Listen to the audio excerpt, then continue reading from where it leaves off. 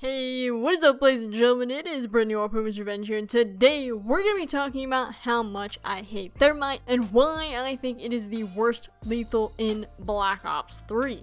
Now in the background you're going to see some gameplay of me trying to use Thermite, and it, it's horrible, alright? It's absolutely horrible, I die from everything. There's just so many angles of me dying and it's actually just depressing.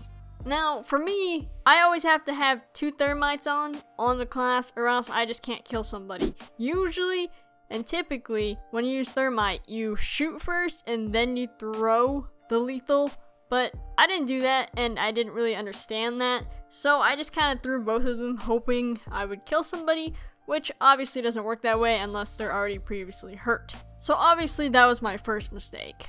My second mistake was putting thermite on when I could have just used a grenade, a C4, or a combat knife. Any of those lethals would have been so much better than thermite. If you guys use thermite, please tell me why in the comments below. Because honestly, I don't understand how you do it. I just don't. I don't understand how you could strategically use it and get kills with it on a normal basis. I obviously can't do it, but I also am like the worst Call of Duty player in the universe, so take that with a grain of salt. But truthfully, if you guys use Thermite, you have to tell me and you have to show me some gameplay if you're actually doing well with it.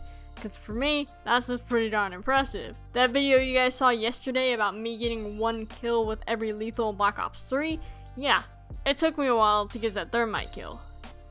As you could probably imagine. But ladies and gentlemen, that is why I think Thermite is the worst lethal in Black Ops 3. If you agree with me, go ahead and drop a like down below. Definitely tell me in the comments below if you disagree or agree with me.